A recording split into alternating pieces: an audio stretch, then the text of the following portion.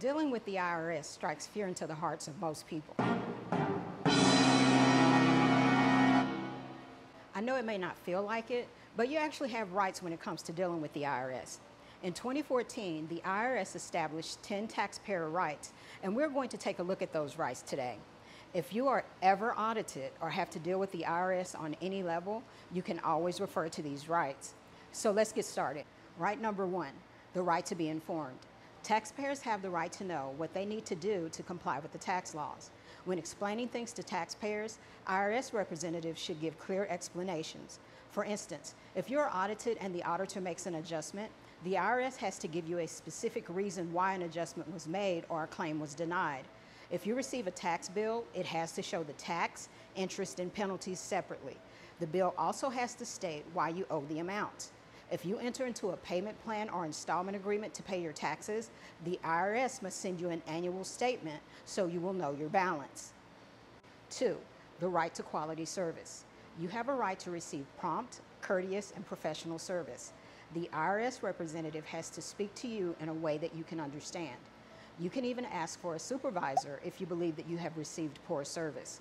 If you agree to have the IRS call you, they will call you between 8 a.m. and 9 p.m. The IRS will never contact you and threaten you with arrest or prison. Three, the right to pay no more than the correct amount of tax. You have the right to pay only what you legally owe. This includes penalties and interest. If you believe that an amount has not been applied correctly to your account, you can contact the IRS and have them address it. If you believe that there is an error on your tax bill, you may also write to the address on the bill and send in any supporting documentation. You just have to send in your documentation within the time frame on the letter. If you owe money to the IRS and they did not assess the amount until after the time period allowed by law, you can let the IRS know that you are not going to pay that amount and they will have to remove that amount from your balance owed. If you have interest accruing on your account due to errors and delays by the IRS, you can have the IRS remove part of the interest from your account. Four, the right to challenge the IRS's position and be heard. You can challenge audit adjustments and any proposed changes to your taxes by providing additional documentation. If the IRS sends you a letter saying that you made a math or clerical error on your tax return, you have 60 days to challenge it. If the IRS does not agree with your position, you can take it to the United States Tax Court before paying the adjustment. Most of the time, you will be able to request a hearing before the Office of Appeals if the IRS sends you a letter saying they plan to seize your bank account or any other assets, or if the IRS files a federal tax lien. Five, the right to appeal an IRS decision in an independent forum. You can appeal most IRS decisions with the Office of Appeals. You normally cannot go to appeals until after you go to tax court.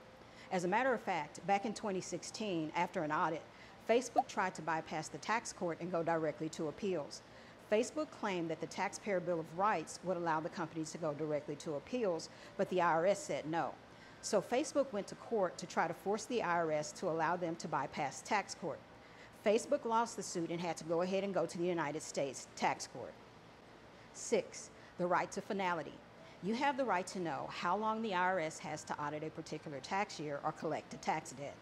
Unless you file a false or fraudulent return, the IRS has three years from the date that you file your return to assess additional taxes for that tax year.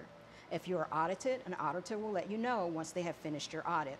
If the IRS makes an adjustment to your taxes, you will be told the maximum amount of time that you have to challenge the adjustment. Generally, if you have paid taxes and you file a claim for refund, and if the IRS denies your refund claim or they take longer than six months to do anything about the claim, you can file a refund suit. Seven, the right to privacy. The IRS will be no more intrusive than necessary. You have due process rights. The IRS can only seize a limited amount of your wages. The IRS cannot seize your primary home without court approval, and they can only seize a certain amount of your furniture and household items. The IRS cannot investigate your lifestyle during an audit unless it appears that you have unreported income. Eight, the right to confidentiality.